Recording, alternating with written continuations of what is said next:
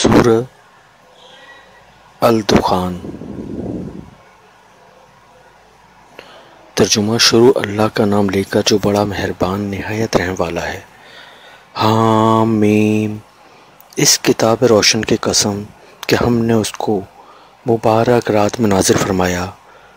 हम तो रास्ता दिखाने वाले हैं। इसी रात में तमाम हिकमत के काम फैसल किए जाते हैं। यानी हमारे हाँ से हुक्म होकर। बेशक हम ही पैगंबर को भेजते हैं। ये तुम्हारे परवरदिगार की रहमत है। वो तो सुनने वाला, जानने वाला है। आसमानों और ज़मीन का और जो कुछ उन दोनों में है सबका मालिक है। बशर्ते कि तुम लोग यकीन करने वाले हो। उसके सिवा कोई मबूद नहीं। वही जिलाता है और वही मारता है। वही तुम्हारा और तुम्हारे बाप दादा का परवरदिगार है। लेकिन ये लोग शक में खेल रहे हैं। तो उस दिन का इंतज़ार करो कि आसमान से सरी ही धुआँ निकलेगा, जो लोगों पर छा जाएगा। ये दर्द देने वाला अजाब है। है परवरदिगार, हमसे इस अजाब को दूर कर हम ईमान लाते हैं। उस वक्त उनको नसीहत कहाँ मुफीद होगी, जबकि उनके पास पैगंबर आ चुके जो खोल खोल कर बयान कर देते हैं। फिर उन्होंने उनसे मुँह फेर लिया और कहने लगे, ये तो पढ़ाया हुआ और दीवाना है। हम तो थोड़े दिनों अजाब टाल देते हैं, मगर तुम फिर कुफ्र करने लगते हो। जिस दिन हम बड़ी सख्त पकड़ पकड़ेंगे तो बेशक इनका काम लेकर छोड़ेंगे। और उनसे पहले हमने कौम फिर की आजमाइश की, और उनके पास एक आली कदर पैगंबर आए।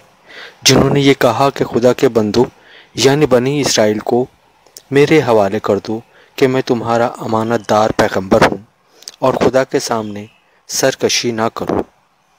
मैं तुम्हारे पास खुली दलील लेकर आया हूँ और इस बात से कि तुम मुझे संसार करो, अपने और तुम्हारे परवरदिगार की पनाह माँगता हूँ। और अगर तुम मुझ पर ईमान नहीं लाते तो मुझसे अलग हो जाओ। तब मूसा सलाम ने अपने परवरदिगार से दुआ की कि ये नाफरमान लोग हैं। खुदा ने फरमाया कि मेरे बंदों को रातों रात लेकर चले जाओ और फिर ओनी ज़रूर तुम्हारा ताकुब करेंगे और दरिया से के खुश्क हो रहा होगा, पार हो जाओ। तुम्हारे बाद उनका तमाम लश्कर डुबो दिया जाएगा। वो लोग बहुत से बाग और चश्मे छोड़ गए और खेतियाँ और नफीस मकान और आराम की चीज़ें जिसमें ऐश किया करते थे। इसी तरह हुआ और हमने दूसरे लोगों को उन चीज़ों का मालिक बना दिया। फिर इन पर ना तो आसमान को और ज़मीन को रोना आया और ना उनको मोहलत ही दी गई। और हमने बनी इसराइल को ज़िल्लत के अजाब से निजात दी, यानी फ़िरौन से। बेशक वो सरकश और हद से निकला हुआ था और हमने बनी इसराइल को अहले आलम से दानस्ता मुंतखब किया था और उनको ऐसी निशानी दी थी कि जिनमें सरी ही आजमाइश थी।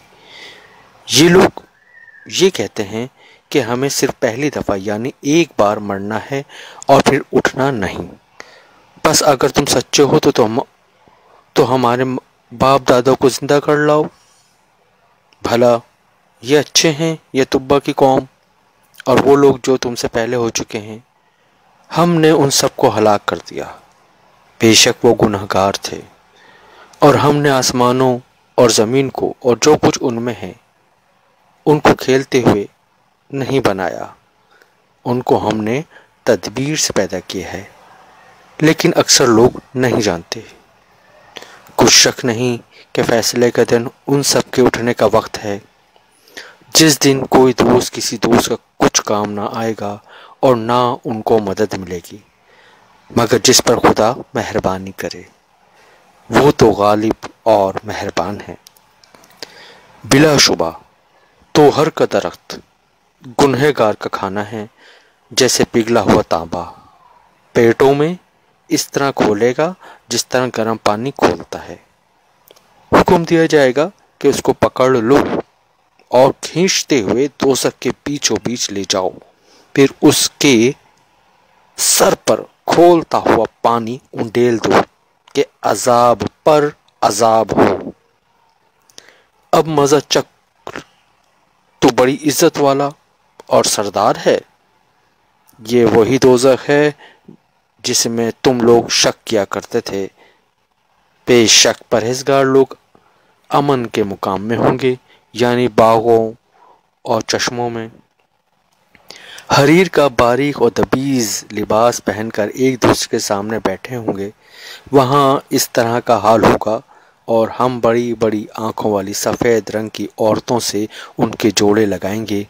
वहाँ खातिर जमा से हर किस्म के मेवे मंगवाएँगे और खाएँगे। और पहली दफ़ा के मरने के सिवा के मर चुके थे, मौत का मज़ा नहीं चखेंगे। और खुदा उनको दोजक के अजाब से बचा लेगा। ये तुम्हारे परवरदिगार का फजल है। यही तो बड़ी कामयाबी है। हमने इस कुरान को तुम्हारी ज़बान में आसान कर दिया है ताकि ये लोग नसीहत पकड़ें। बस तुम भी इंतज़ार करो, ये भी इंतज़ार कर रहे हैं।